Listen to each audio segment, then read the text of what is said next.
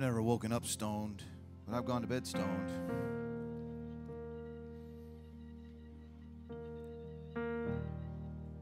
Metaphorically, as Brother Nolan preached. I'm thankful I have woken up even though someone tried to metaphorically kill me or something.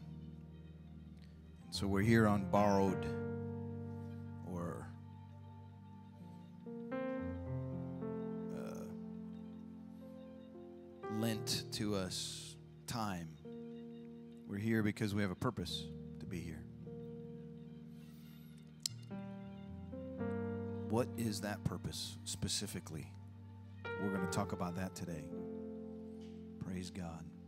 Can we just pray just before I read a verse here, just as um, we transition into the Word? Just pray for a moment that uh, God would touch our minds. Sometimes we need a cerebral uh, touch, sometimes we need our, our thinking um, changed. There's somebody said you have 70,000 thoughts every day, but 65,000 of those thoughts are the same as you had the day before and the day before and the day before. And so you think the same way every day, and you can only change little by little, little by little, your thinking.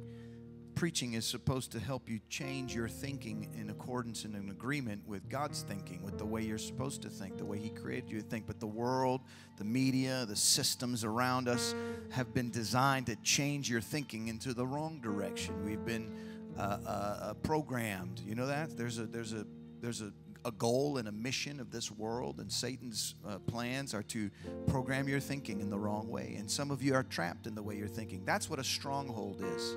We're going to pray. I'm going to preach here for a minute here, but that's what a stronghold is. Show me in the Bible where it's a satanic stronghold. I understand Satan does things and builds, a, but the strongholds that Paul talks about are in your mind. Casting down, he says, we have weapons of our warfare not carnal, they are mighty through God to the pulling down of strongholds, casting down imaginations and every high thing that will exalt itself against the knowledge of God. It's all in your head. These battles. That was a good spot for an amen for those of you who are having some difficulties thinking about the right way. The battles are all right there between your ears.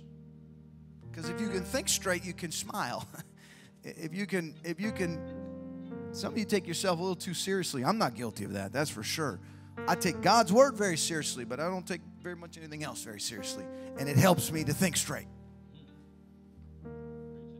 Brother Lee one time said, It's only money. And I thought, Who's ever said that? And I've been saying it ever since. But we exalt some things that, any, any high thing that exalts itself against the knowledge of God, we need to bring it down. What's more valuable? Rubies or wisdom. The Bible says wisdom. Okay. I got a long way to go. Sister Val, at least laugh. Like Sister Val is laughing. Poor, poor pastor, he's tried so hard. And just laugh at me. That, that at least I know you're listening. Amen. Let's pray. Jesus, touch our minds here today. Lift us, God, to a place where our thinking, Lord, is in agreement with you. That our mind, that we would have the mind of Christ, that the will of God would be known to us, that we would know the good and perfect, acceptable will of God, that you would help us to renew our minds, God. Hallelujah. Touch us today between the ears in Jesus' name. Amen. Before you're seated, let's read a few verses, just a couple. Isaiah chapter 55 verses 8 and 9. I say before you're seated just because you're already standing, and uh, it is a custom that's found in Scripture. In Nehemiah's day, they stood at the reading of the word, only they stood all day. I'm the only one that has to do that. So we're just going to stand for the reading of the word. Isaiah chapter 55 and verse number 8, the Bible says through the prophet Isaiah, My thoughts are not your thoughts, nor are your ways my ways saith the Lord. You don't think like I think, and your ways are not like my ways. The things you do are not, Your culture is different than mine. Your patterns of thought are different than mine. Next verse. For as the heavens are higher than the earth, so are my ways than your ways and your thoughts and my thoughts. Do you know how high the earth, how high the heavens are above the earth? We'll talk about that in a second, but I want you to read with me Colossians chapter 1, verse 9 and 10. Paul writes to the church in the city of Colossae. That's why it's called Colossians. Epaphras was the founder and pastor of the church. He was Paul's co worker, and he was a fellow servant, faithful minister of Christ. He declares the love that they have in the Spirit, and then he says, For this cause, verse 9, for this cause, because there's love in the Spirit towards me, for this cause, since the day we heard it, we not, did not cease to pray for you and desire that you might be filled with the knowledge of His will in all wisdom and spiritual understanding. Paul prays for the thinking of the church in Colossae.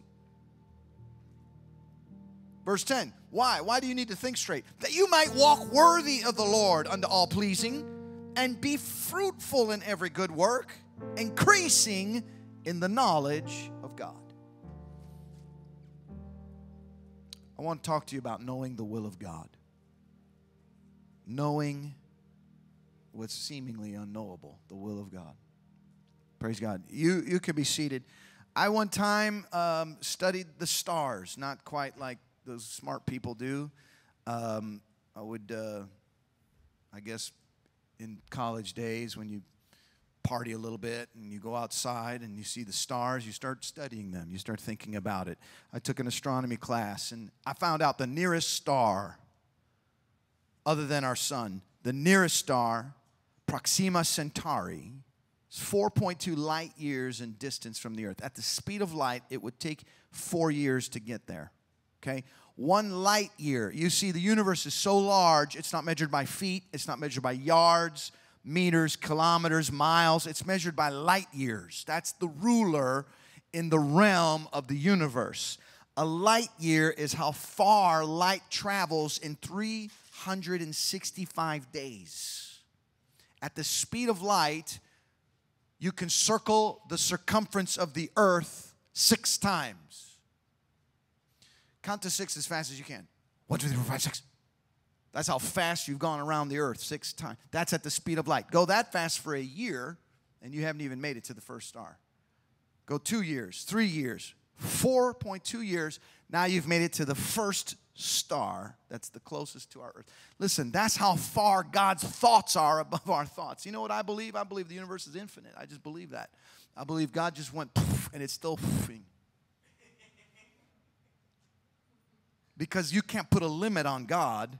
If He compares the universe, His stars, the heavens, to His thinking, then I, I would say there's no limit to the stars. And so there are, it's five billion eight hundred seventy four million five hundred and eighty nine. I think I'm I'm sorry. I think it's trillion. Five trillion eight hundred seventy four billion five hundred eighty nine million one hundred fifty two thousand miles for one light year.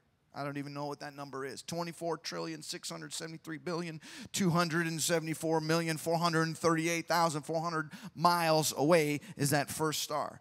If that's not amazing enough about God, then consider this. The farthest known star from the earth is 13 billion 230 million light years away. I, I, it's a 24 digit number if you measure it in miles. That's as far God's thinking is as our thinking. And I say we have to have the mind of, nobody knows the mind of God. Nobody knows the mind of God. It's like trying to explain to an ant the various aspects of the internet. It's like trying to explain to your child, Chris, what you do at work. You expect her to understand that? I don't even know what you do at work. Praise the Lord. Amen. How can we explain what God's thoughts are? How can we put limits when we have limits on our own thinking? In the same way, God is far more complex than we are. He, he is far more uh, uh, in a different realm of thought. He said, My ways are not your ways, my thoughts are not your thoughts. Completely different from yours, says the Lord. My ways are far beyond anything you can imagine. Just as the heavens are higher than the earth, my ways are higher than your ways. Your thoughts are lower than my thoughts. There's a gap there. So that means we can only get a glimpse or a portion of what God is doing or thinking about in our lives or in the lives of others. There's an inevitable, huge, gaping expanse between us and God in, in the realm of thinking. But there's a bridge, there's actually two. And those two bridges are very important to walk across to knowing the will and the ways of God. He's given us a Bible, He has given us the reference of the Word of God. We believe that the books that are collected, called the Bible, have been given to mankind as sort of a, a handbook, a manual of the thoughts of God. It contains answers to many questions, and the beginning of many understandings are found in this book. Somebody say, Amen. The Bible stands as uh, uh, on the assumption that God is speaking and people can hear him speak. And some special people were chosen to write it down as God revealed it to us. Some people can still hear God like that today, and they will reveal what God chooses to reveal through them. I would say this is also a word from God. And we get to hear the thoughts of God as we read the Bible. There's another way to bridge that gap, and that is that just as the Bible has given light unto us, the understanding that we can be uh, uh, uh given is through the Spirit of God. Somebody say amen. I'm, this is not what I'm preaching about. I'm just setting the, the stage here. We have the Word and we have the Spirit of God. It requires faith, but you can hear and understand in your spirit the meaning of the Scriptures or the meaning of the feelings that the Holy Spirit will give you. These revelations through Scripture and through prayer or the Spirit of God become a part of us, and little by little we begin to know and have what God's thinking patterns are for our lives, what we are supposed to think about. But there is an enemy, there is a thief, there is. Um, an attack on your thinking going on every day, even as I'm preaching to you right now. Proverbs chapter 3, uh, verses 5 and 7 says, Trust in the Lord with all your heart, lean not to your own understandings. Uh, in all your ways, acknowledge him, and he'll direct your paths. Be not wise in your own eyes. Fear the Lord and depart from evil. Bible teaches us that God's ways are incredibly different than our ways, but if we trust and we walk with Him, we'll learn and know the ways of God. Paul said, uh, I want you to know the will of God. I pray that you would desire to know God's will so that you can walk in pleasing Him and fulfill the fruit of good works. Not that you are saved because of good works but you are saved into and unto good works. How will you know to do good? Because the will of God is known in your life. Now, I am preaching to probably two or three people here, and the rest of you are just going to hear a nice message. But some of you need to hear this. A couple of you need to hear this. You need to know that you are in the will of God. Paul, a preacher who had been stoned and shipwrecked and all kinds of nasty things happened to him. In acts chapter 21 verse 10 it says we tarried there many days and there came down from judea a certain prophet named agabus. And when he was come unto us he took paul's girdle bound his own hands and feet as sort of an object uh, lesson here and he says this thus saith the holy ghost with his hands and feet bound he said so shall the Jews at Jerusalem bind the man that owneth this girdle, and shall deliver him into the hands of the Gentiles. And when we heard these things, both we and they of that place besought him not to go up to Jerusalem. I want you to pay attention to this. This is the Apostle Paul who walks with God, and a prophet comes and he basically tells him they're gonna bind you up, they're gonna, they're gonna throw you in jail when you get to Jerusalem. Now, what would you do if God gave you that word? And everybody's like, Paul, don't go. This is a man of God. This is a prophet. He's always right. This prophecy is true. You're going to go to jail. This is a warning from God. They begged him not to go. Watch verse 13. Go to verse 13. Then Paul answered, What are you weeping for? Trying to break my heart? I'm not only ready to be bound, but I'm also ready to die in Jerusalem for the name of Jesus. You know what he was saying? I know the will of God. This is just a sneak preview, but I'm going. I'm going. I don't care if I get bound up. I don't care if they kill me. I'm supposed to go and I will obey and I will do when I know it's the will of God. Nothing's going to stop me. I want us to know God's will because time is coming where you will not know exactly uh, what's going on all around you. But if you have a good grasp on what the will of God is for your life, you too will say, I'm ready to accept whatever is behind that door called the will of of God for my life. But some of you are not ready because your mind has not been transformed. You are not tuned in to the word and ways of God. And so anything God's trying to do in your life, you fight against it. You walk away from the struggle.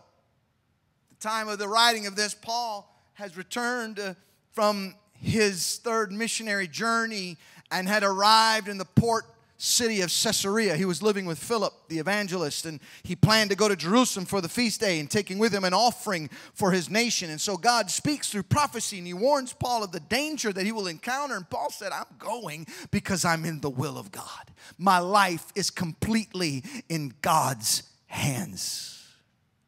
So, how do you find the will of God unto that level? For your life. Before the will of God can be realized or known in your life, you have to make the decision that you will obey His will, irrespective of what it may be.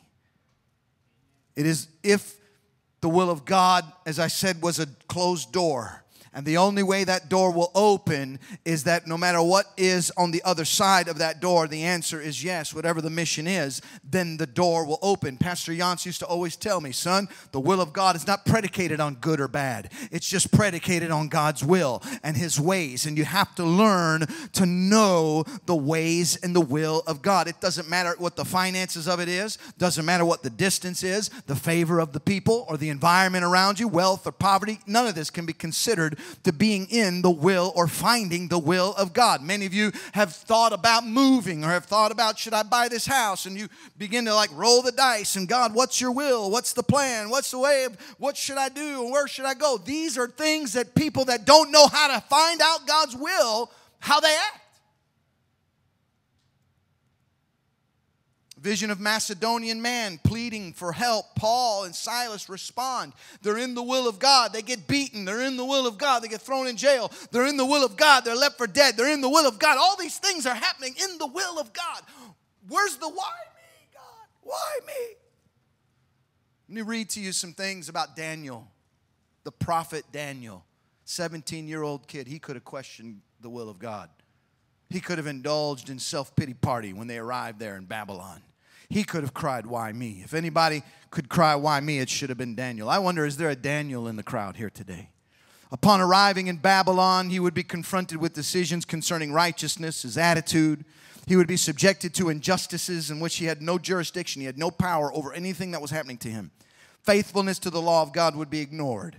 Despite his adverse circumstance, Daniel demonstrated the manner of one who knows he is in the will of God. He was not a transgressor of the law. He lived a life of righteousness. He wasn't being punished. He was a teenager, captured in Jerusalem, probably 17 years old. He wasn't being personally judged. The fall of the city had been prophesied already by the prophets. He was in the princely lineage of Judah. He became a slave in Babylon with no record of any complaining his name was changed to Belteshazzar, and he went by that name. That's the name of a Babylonian god.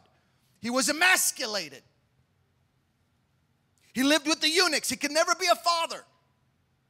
No child would ever call him dad. No honor would be to his lineage. This alone could have given him a deep bit, uh, a deep uh, uh, uh bitterness. His entire lifetime, Daniel was to live in Babylon. He died there, away from his homeland, his temple, which was destroyed, and his beloved city, Jerusalem, that he prayed to every day. It was his lot in life that God had chosen for him in the will of God. It was God's will. Never to experience deliverance. Could have died bitter. He needed uh, uh, uh, uh, to understand God has me here for a reason. You know why? God needed a Daniel in Babylon. God needed a Daniel to have the right attitude, to understand he needed to be there in Babylon. Somebody has to understand God needs the Daniel in the hospital. God needs a Daniel in that place where you're at right now. God needs you. Okay, got to keep preaching. Our lives today, let me tell you what happens. Some, some live and some die. Elder, cancer has no problem touching the Christian or touching the heathen. Where is God in all that? Poverty, wealth seems to be dispersed evenly amongst the Christians and the heathen, if I could call you that, those of you that aren't Christian. Praise the Lord. You know, when you don't laugh when it's supposed to be funny, and we're in big trouble. One time somebody came up to me and said, You know, if this preaching thing doesn't work out for you, I can set you up with your own comedy show. and I said, Listen, sis, if this preaching thing doesn't work out for me, I'll probably still preach. Amen. feel like that's God's will for my life. But some are poor and some are rich, brother. Some are healed and others remain sick. In our lives today, some are healthy and some are weak. Some are determined to do the will of God, and some don't know what the will of God is in their life. If you have a good job and then you're given an opportunity to accept a job that pays more money somewhere else, that doesn't mean it's the will of God. Philippians chapter 2, verse 5 says, Let this mind be in you, which was also in Christ Jesus. Nobody knows the will, uh, nobody knows the mind of God, but we have the mind of Christ. Now we're getting a little bit closer. We can't fathom what God is thinking about, but we can grasp a little bit what Christ might be thinking about. You know how many times I've often thought, I don't wear one of those WWJD bracelets. I guess they got new ones now. Uh, what, what is it? Jesus would love first or WJ, whatever, I don't know. WWJD is from uh, uh, the phrase, what would Jesus do? I've never thought those thoughts. When I was a new convert, it was, what would Jack Yance do? What would my pastor do in this situation? Somehow I knew what he would do, and I followed what he would do as if it was the will of God for my life. Sometimes you don't know what God wants, but you kind of find somebody who, who's kind of like God in your mind, and you could do what they want. And so this is what Paul is saying. We don't have the mind of God, but we have the mind of Christ. What would he do? Somebody came up and he said, Pastor, what would Jesus do if I was in this situation? If he was in this situation, told me the situation, my answer was, he wouldn't be in that situation, bro. So you messed up long before right now. Daniel observed the riches in Babylon. Golden images were a common sight. In fact, one golden image 45 feet tall. Heathen chapel was 600 feet tall. Everywhere he went, Babylonian wealth was displayed. It looked like God was blessing this city. He saw the strength of Babylon's 15 square mile city. It was 350 foot high walls that surrounded the city, 136 feet thick, 14 miles long the walls of the city. The Ishtar gate had 575 enameled dragons and bulls and lions there. Beautiful artistry. There were 250 observ- uh, observation towers uh, on top of the walls where they studied the stars. A second wall, which was 87 feet high, existed inside the first wall. You got past that first wall, you'd have to get past the second wall. And in between, there were drawbridges, six drawbridges with water along uh, uh, uh, uh underneath there and there, across the moat. And so these six bridges had six gates to enter into the city from those drawbridges. The city had 25 streets, each were 150 foot wide, that ran east and west, and 25 streets, uh, each again that were 150 foot wide, that ran north and south. This was a very uh, a strategically planned out city. It was a, a, a fortress. It was amazing. And Daniel was captured and brought into the city. Nebuchadnezzar built the Hanging Gardens of Babylon, one of the eight uh, wonders of the world, of the ancient world. They were 400 feet long, 400 feet wide, and get this, 350 feet tall. Planted with exotic plants all over around the world. The water was brought from the gardens into the gardens from aqueducts, which enabled the garden to flourish. A, a, an amazing accomplishment for the ancient world. And Daniel saw all of this, but he made a decision that I don't care about the wealth and the beauty of the city that I am in. I know who I am, I know what I'm here to do. And if God destroys me, so be it. If God flourishes my life, well, so be it. He needed to Daniel in the city of Babylon.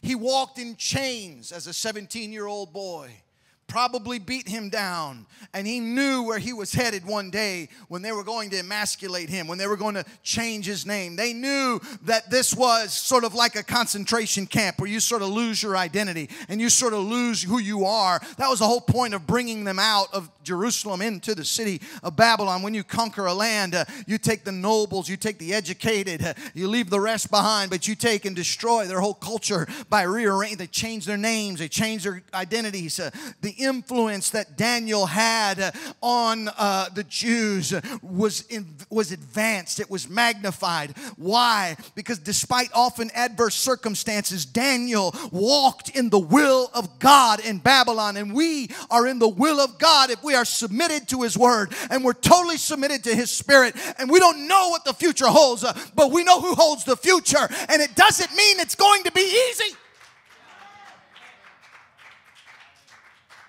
I'm going to skip a lot of stuff and I'm just going to get to what I'm talking about. Jacob was in the will of God, but he was separated from everything that he loved a protective mother sent him off into a place of hardships, and uh, the scheming scrutiny of his uncle Laban met him there, and he was there, learned some discipline, worked 14 hard years, and he was uh, basically cheat, cheated and, and, and, and, and robbed. And despite Jacob's experience at Peniel, uh, when God's uh, uh, uh, sent an angel to talk to him and, and wrestle with him. What Jacob wanted, Jacob wrestled with the angel and he wanted the angel to change his circumstances. But the angel said, I have not come to change your circumstances, for you are in the will of God. I'm come to change you.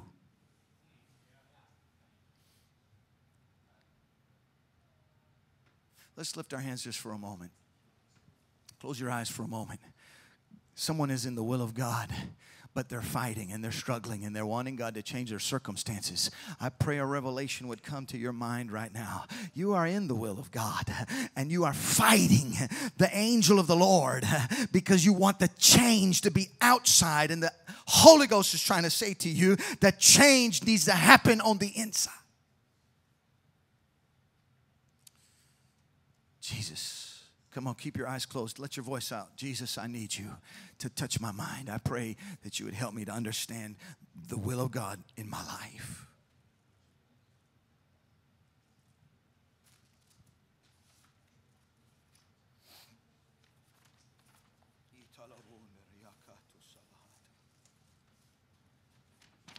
Hallelujah, Jesus. Hallelujah, Jesus. Yeah, the will of God. Yeah, yeah, yes, yes, the will of God. Divine destiny. Divine destiny. Divine destination. God ordained the end. And He tells you where you're at right now, but He doesn't tell you the story in between. He doesn't tell you the story in between. Sister Val, if you saw a picture of where you're at right now 10 years ago, you might not have made the journey. And I don't mean that in a bad way. I'm just I just picked you because you're moving and I saw you because I'm having blurry vision right now. Don't have my glasses. If you knew the end uh, uh, uh, before you knew the beginning, you might not have taken the journey. But what it takes to say yes to the journey is a full confidence and a trust that if I'm in God's hands and I'm in God's will, that the end of the thing will be just fine. In fact, it will be better than the than the beginning. If God thinks it's so, then I'm going to agree and be okay with it because His ways are higher than my ways. His thoughts uh, are higher than my thoughts. Uh, I've got to just trust the one who knows better. So here, here it is. Here are the people who are surrendered to the will of God here's what happens to them three Hebrew men were thrown into a red hot fiery furnace. Stephen was condemned as a heretic and stoned in the will of God. James was imprisoned and lost his head. He died in the will of God. Peter, same prison, but he walks out free. Mrs. James and Mrs. Peter had to eat together. I'm so sorry, Mrs. James. My husband doesn't know what to think. Why did God do? No, no, no, no, no. Why God? No, no. We don't, we don't get to ask that question. We don't get to have an answer to that question. Joseph spent 13 years in isolation from his family. He was abused. He was mistreated. He was imprisoned. He was forgotten. All of it was in the will of God. He, God needed a Joseph in Egypt. Esther became the queen of a heathen king in the will of God. Samson was attacked by a lion in the will of God. Jonah was swallowed by a fish. He lived in a fish for three days. Digestive juices messing up his skin. Seaweed, the Bible says, wrapped around his. They didn't even know which way Jerusalem was. He said, God, I'm kneeling somewhere in the direction of Jerusalem. Forgive me. And the, the thing got sick and spit him up right where God wanted him. It was the will of God. You can't fight the will of God. It looks ugly when you fight the will of God. Things get worse when you fight the will of God. You might as well just be subjected and surrender yourself to God's will. And at that moment, God will give you a revelation of what the will of He wants us to know His will. This one is bizarre to me. There's a prophet named Hosea, and he marries a prostitute. He woos her away from the people of her, the people of the night that she's, uh, you know, a lover of. But it was all in God's will. Listen, bro, can you imagine? God, I want, you know, I, I want to get married, Lord. So okay, I got you a perfect woman. Okay, God, who is it? Who is it, Lord? Uh, is it Sister So and So? Is it Sister Beauty Beauty Face over there in the second row? Hallelujah. Nope, that's not her. Oh, okay, that's all right. Somebody else will marry her. Lord, who am I going to marry? Who's who? What's your will for my life, Lord? Is it Sister Sister Sing-a-Lots? Oh, I love to hear her voice. Uh, I love to hear her singing lots, and I, I think Sing-a-Lots and I would be a great. Nope, it's not going to be Sister Sing-a-Lots, uh, son. It's going to be somebody else. Oh, that's okay. That's all right. I, I'm, I'm okay with that.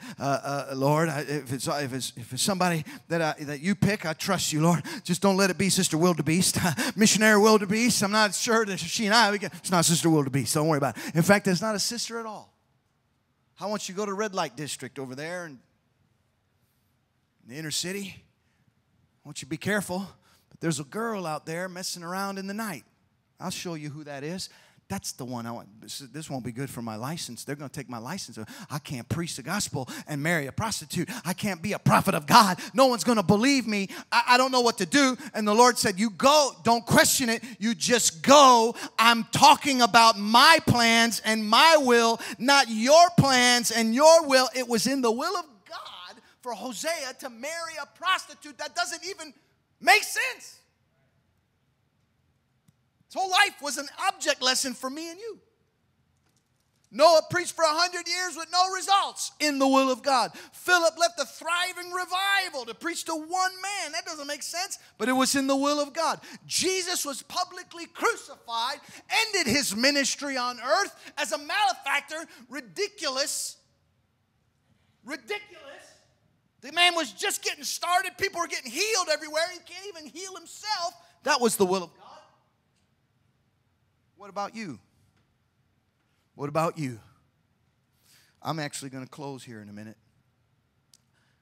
I want to read the what I call the the the, the life verse of this church, um, chapter 12 of Romans. And I want to read to you the, the comments and the notes that are found in my Bible, my apostolic Bible here. Romans chapter 12, verse 1, he says, I beseech you, therefore, brethren, by the mercies of God, that you present your bodies a living sacrifice, holy and acceptable unto God, which is your reasonable service.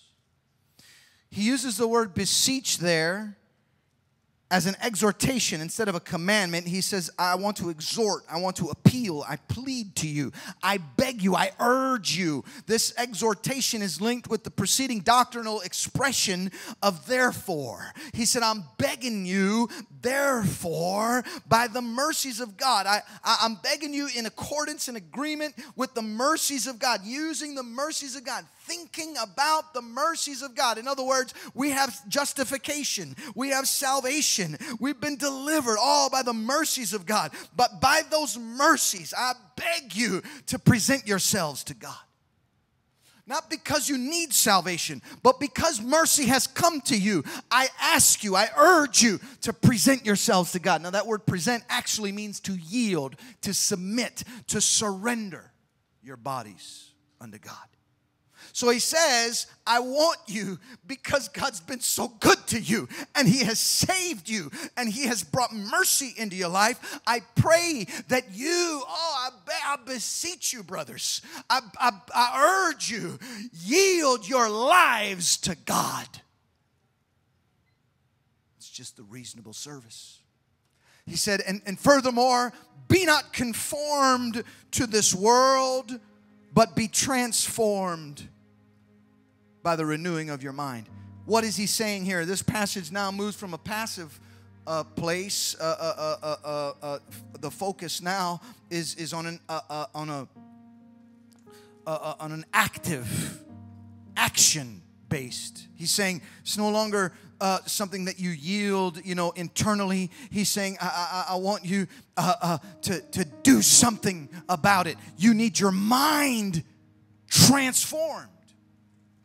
You need to be transformed. That word transformed, we get our English word metamorphosis. He's literally saying, uh, uh, uh, don't be conformed to the world and the world there just means age the culture he's saying in every in every generation there's an age there's a culture there's a way of the world he's saying don't let the world get in your head don't let the world press you into its mold. Don't let the things of this world, the cultures, the fashions, uh, the ideologies, the thought processes of the gurus uh, and the celebrities uh, and the wealthy and the famous, uh, don't let them uh, and their ideas uh, become yours and your ideas. so there's the negative version of that. But he says, but be transformed, be metamorphosed, have a metamorphosis, a transformation. It's the same word that Jesus was was was doing on the Mount of Transfiguration. He transformed himself into a, into a beam of light. Uh, and it's the same thing that Paul is saying that we need to do, that we don't get into the world system and we don't get into the thinking process of the world. Uh, we don't, in other words, uh, when some uh, I, should I go there, Lord? Should I go there? I'm going to go there. In other words, uh, don't ask your girlfriends at work what to do with your mean husband because they're going to give you a concept that's worldly. You need to ask the Bible or ask the Lord or ask a man of God or a woman of God, what should I do? And the Word of God says, submit, surrender, yield your bodies.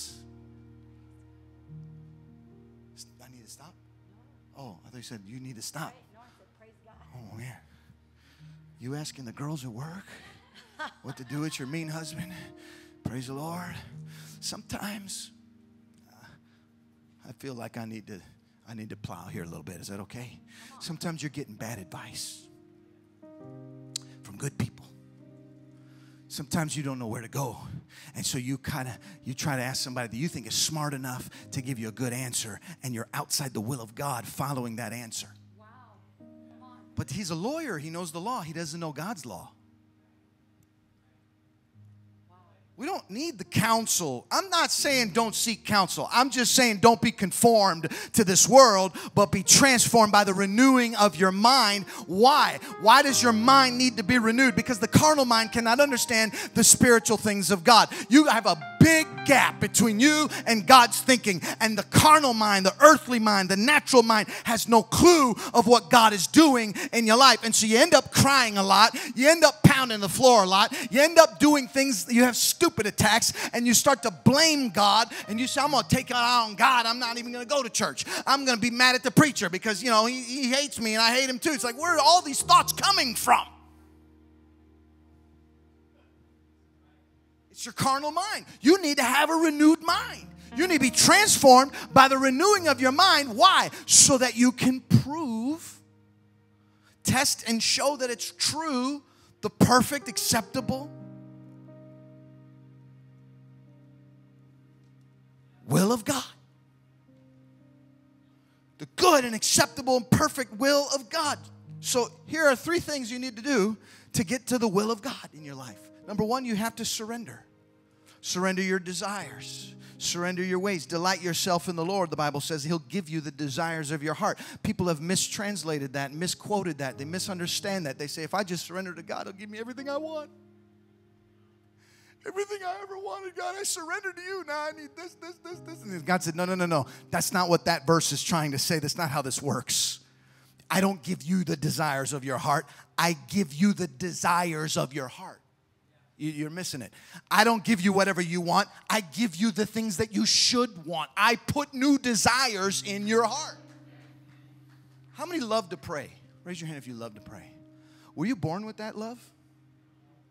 How did you develop a love for prayer?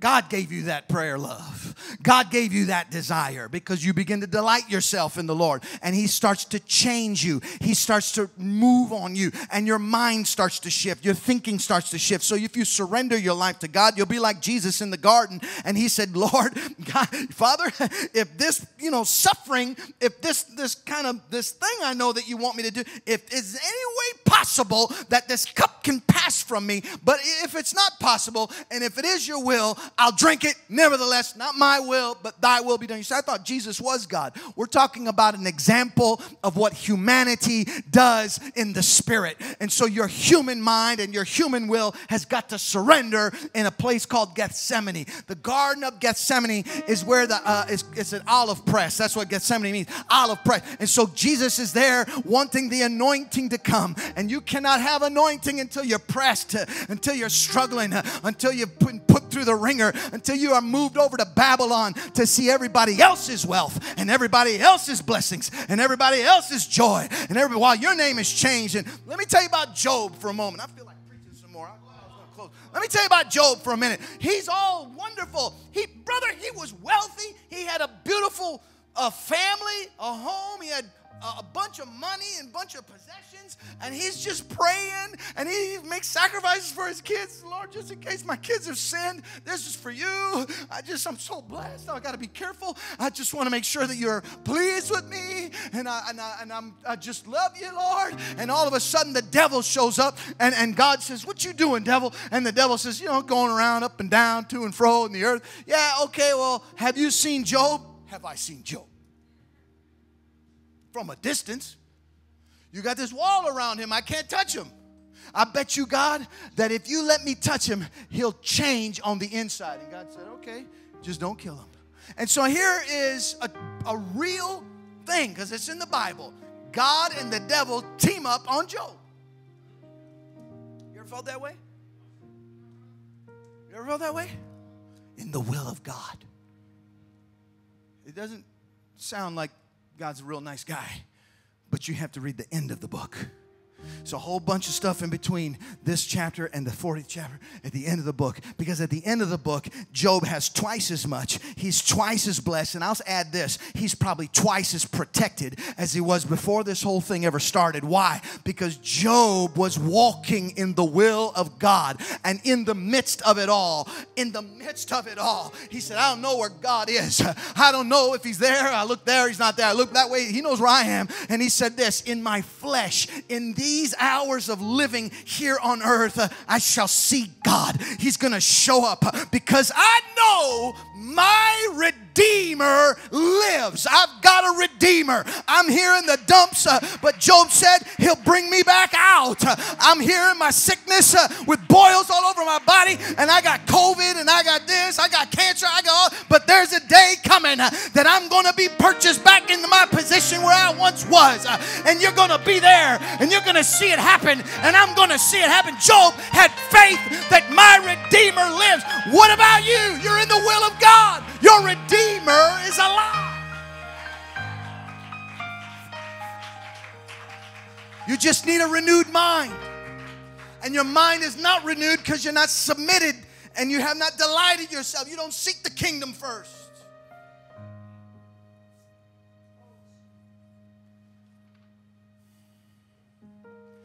Let's just stand. Psalms 40 and 8 says, I delight to do your will. Oh my God.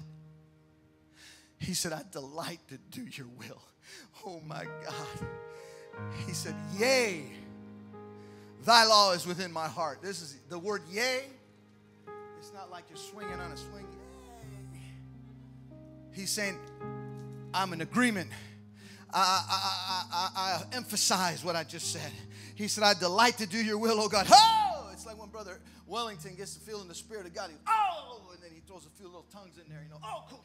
It's just, that's what David was writing. He was saying, I delight to do your will. Oh! Yay! Thy law have I hid in my heart. I put your word there. Psalm 143 and 10, he says, Teach me to do thy will, O thou art my God. Thy spirit is good. Lead me into the land of uprightness. I, I know that I, I don't always am very successful in teaching you things because I get to remembering what I studied. But you know, when Jesus starts telling stuff on the mountain and he's preaching and teaching, people think he changed the Old Testament. He didn't change anything. He was fulfilling the Old Testament, he was walking in it. And he taught some stuff that was right there in the Old Testament. Right here, we see David writing, Lead me into the land of uprightness. He wants to do the will of God. He's saying, Teach me to know your ways. I want to know your will. Your spirit is good. Lead me into uprightness. And Jesus said, Seek ye first the kingdom of God and all of his righteousness. And if you seek that, you're going to find it. You might not look, it might not look what you thought it was, but all of these things that you think you're looking for, these things will be added unto you, not because you're seeking those things, because you're seeking the kingdom of God. You know why there's sickness and there's trouble and broken ribs and bad kidneys and, and, and bad, can't pay your bill, all that stuff that we don't feel like is the will of God. You know why that's happening? The kingdom of God has not fully come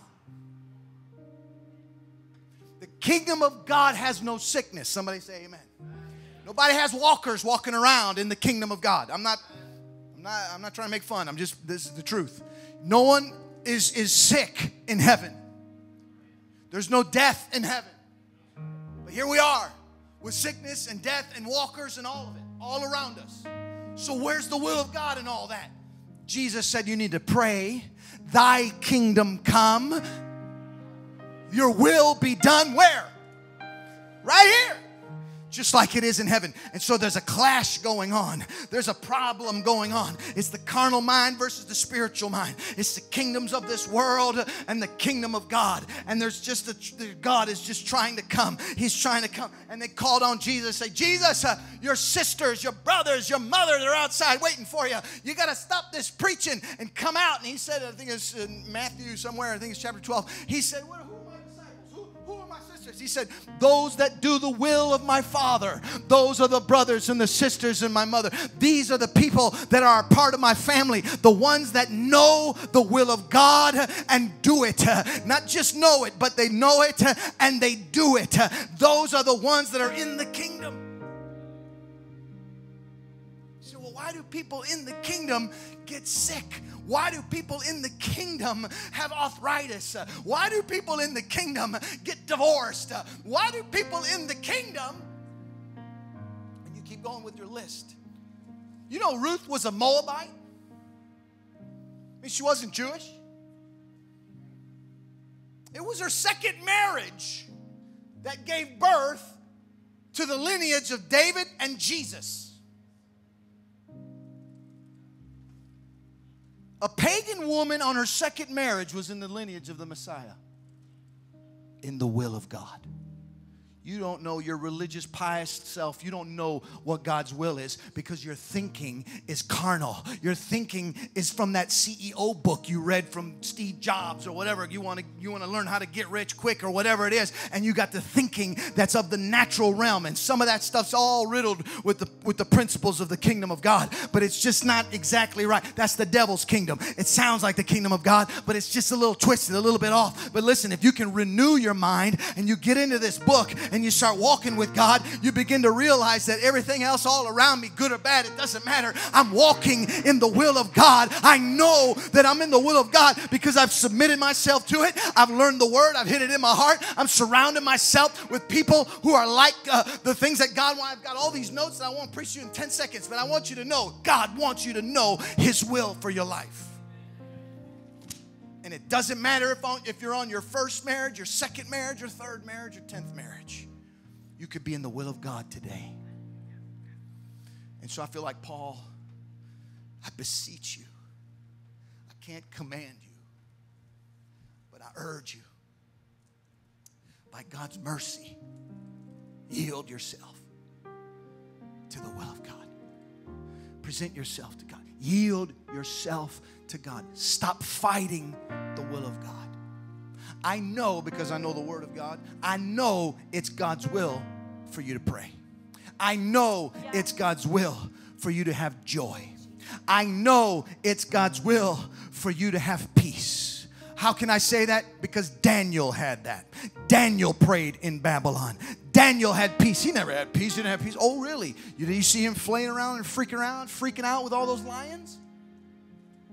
I know there was joy. I know there was righteousness because the kingdom of God is not predicated on what's going on all around you. It was Paul standing on a boat one day. Now I know Jesus can stand on a boat and say, Peace be still, and he calls the storm and, he, and the storm obeys. But sometimes the peace be still is on the inside, and Paul's holding on and he's getting seasick and he's saying, Guys, hey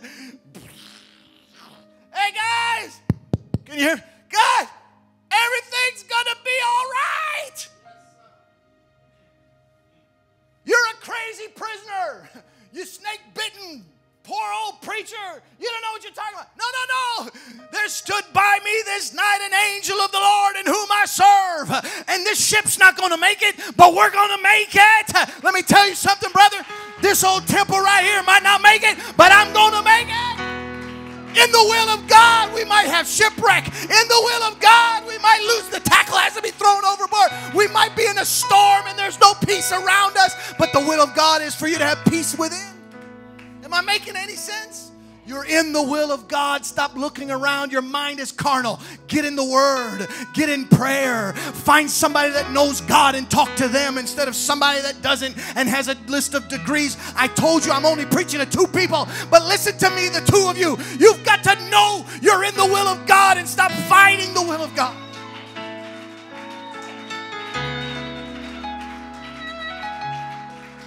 And I know you're fighting the will of God because you leave early and you come late and you don't show and you're online watching and you're you're fiddling your thumbs going, I wonder if he's talking. I am talking to you. The Holy Ghost wants you to know I want control of your life because I need a Daniel in Babylon. I need a I need a Joseph uh, in Egypt. I need an Esther in the palace, in the prisons, in the hospitals, anywhere could be a submitted vessel. God needs somebody in His will in every area. Have you ever witnessed to a doctor? Have you ever testified to a nurse? Well, how did you get to that nurse? Were you in the hospital? You were in the doctor's office? Did you make an appointment to tell him about the gospel? What would you make an appointment for? You were in a situation where you needed a medical condition. That doesn't sound like God's will to me. Maybe it was God's will, bro.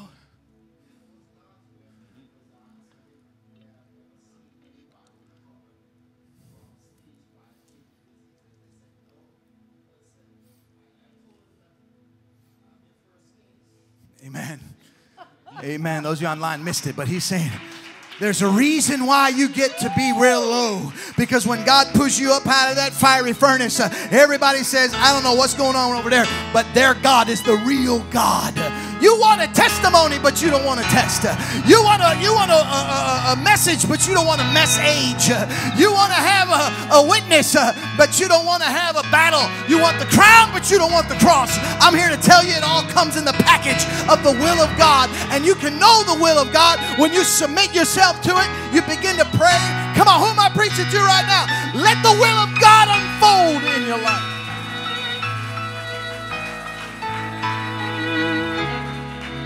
Come up, come up, come up. All the way up, all the way up. My brother and my sister, I have a confession to make to these two. I've already told them, but I'm going to confess it to all of you. I have prayed. Now they're going to Japan in like a month for four years, three and a half years. Ain't no church there. 10 hour trip to the nearest church, nearest apostolic. Church. four hour train ride, I guess. Some of you drive 40 minutes, you complain to God all the way. I confess to you, I have prayed that they wouldn't go. And if you haven't prayed that, there's something wrong with you. But I also confess that I also have said, but God, I don't know your ways. I don't know your ways. And if they have to go to Japan, let them go as Daniel went to Babylon. Let them go as Esther went in the courts of Ahasuerus. Let them go with the anointing of God.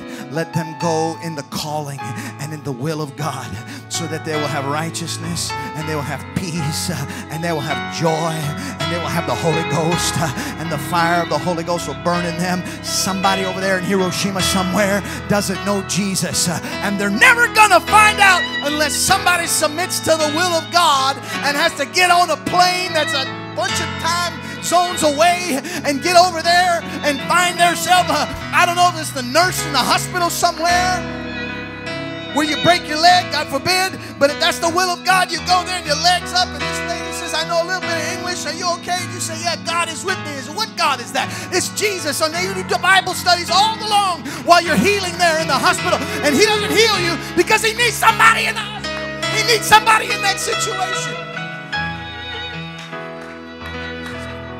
Paul and Silas are preaching and they're doing good. And there's a lady there. Come here, Sharon. Come here. Come here. There's a lady there. Act like a like a fortune teller for a minute. And she's telling fortunes. See, yeah, there you go. Crystal ball. Here you go. Crystal ball. What's my fortune? Wow. Here's some money, 100 bucks. Yeah, next. Next. And Paul and Silas look at her and said, Come on, her devil in Jesus' name. Wow, the devil comes out. And now they come up and say, What's my fortune? I don't know. And people were mad. So what happened to your gift? They cast it out of me. It was a devil. Okay, you, you're done. You're fired. You're fired. Where are these boys at? Paul and Silas, get over here. You did us a disservice. Oh, I would to God that we would bankrupt the devil sometime. I wish that we would get so bold and we would bankrupt the devil and put him out of business. Amen. That's the will of God. That's the will of God. But they threw them in jail. They beat them up. I studied what an inner prison is. They're in stocks and bonds, and we're not talking Wall Street. They're chained up in their hands, their feet, their neck. And when they're worthy of misconduct, uh, there's a little hole in the ground of the, of, the, of, the, of the cell where they go to the bathroom. And when they're unworthy of good conduct uh, and they need to be punished, uh, they're dunked down to their armpits into that hole. No sunlight was in there at all, maybe a candle somewhere and they're in this prison. They began to praise the Lord in the stink and through the pain and all of it. He said, Paul, Silas said, Paul, are you sure we're in the will of God? I know the will of God. I know God called us here. Don't you worry about where we're at, Silas. Everything's going to be all right. Now start singing. And they started singing uh, about the will of God. And they started singing praises to Jesus. And the earth shook and the jail opened up. And here comes the man in his vision with a torch. Um, guys, your, your God just shook this whole prison. Everybody went free. No, no, no. We're still here. Don't commit suicide. And the light came a little closer, and Paul looked. He said, You're the guy in my vision. You're the one I've been sent to. You're the one I'm supposed to preach to.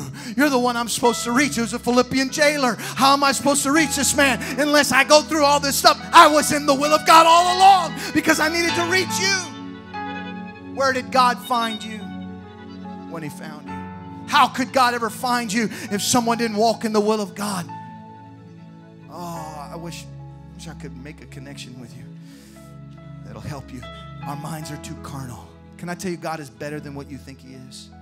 God is more able than what you think He is. Can I tell you that even though you've messed up and everything all around you's fallen apart, that God has not forgotten you, that God has not left you. He's trying to build you, not trying to destroy you. He's trying to change you, not maybe so much change your situation. Sometimes God sends a man to build a church, uh, amen. But sometimes God sends a man to build the man. That was for me. Lift your hands with me right now. Maybe pray with the person next to you for a moment. Let, just, just do that. Pray that God would reveal His will to them. Lord, I pray for my brother right now.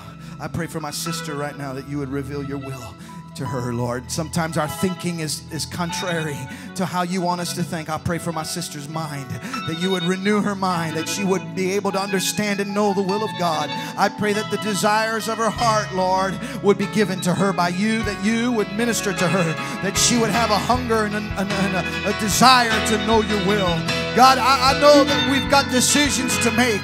Some have a decision of who to marry. Some have a decision of where to have a house. Some have a decision of where to do business and where working is to find them. Some have a decision of what to do in this relationship. All of these things are not found in the Bible. And so, Lord, I pray the mindset, I pray the thought process would be in alignment with your will and with your word and help them not to fight it, help them not to complain about it, help them to understand that even though I cannot understand God, I can trust Him. Even though I can't track where He is, I can submit to Him and trust Him with my life. I know, Lord, there's somebody here watching online that needs to know you've got them in the hollow of your hand, that you have never escaped one day. Nothing has ever escaped your will, nothing has ever slipped past your knowledge. The eyes of the Lord are in every place, beholding the evil and the good. And God has something up his sleeve in his plans for your life just need to submit to it and surrender to it. Come on, don't stop praying. Come on, don't stop praying. Hallelujah. I'm praying for the will of God in your life. I know it's tough. I know it's difficult, sis. But you have to know God is tugging on your heart right now. God is trying to minister to you. You say, No, I have messed up. I have walked outside of the will of God. That's what Samson thought. That's what Samson thought. That's what Samson thought. That's what Samson's parents thought. But the Bible says they wished not that it was of the Lord. It was of the Lord that Samson would mess around with Delilah. It was of the Lord Lord that he would be captured by the Philistines. It was of the Lord they would bore his eyeballs out. It was his own will, it was his own design that God would deliver the people of God from the Philistines. What is God trying to do through your life? What is God trying to show the world through the suffering and through the testimony that your life will bring? What is God trying to do? With your broken pieces, with your messed up life. What is God trying to do through you? Would you let Him do it? Would you allow God to have His way? Would you yield yourself unto God? Would you surrender it all right now? Yes, Lord. Yes, Lord. Not my will, but thy will be done. Not my will, but thy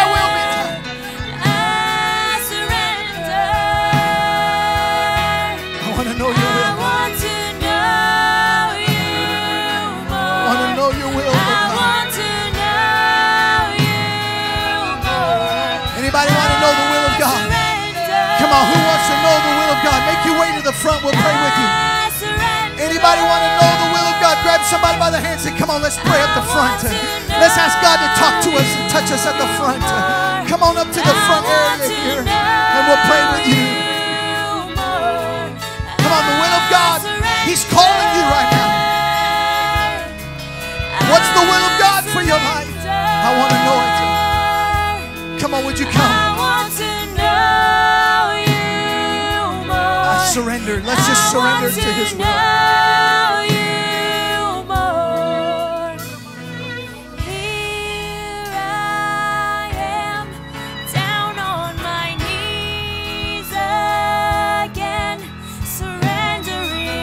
In a strange land, God. I've been lied on. I've been ridiculed. People. They're supposed to love me, but they hurt me. That can't be your will. The ways of God are higher than our ways. His thoughts are higher than our thoughts.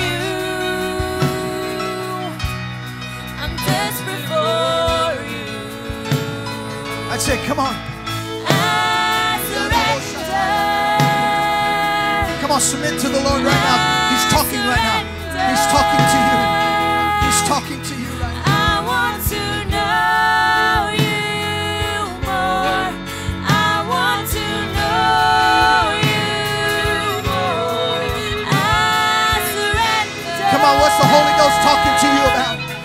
What's the Holy Ghost telling you right now? You're in my will. I'm working out a master plan. I'm working out a plan for your life. I'm working out a plan for your life.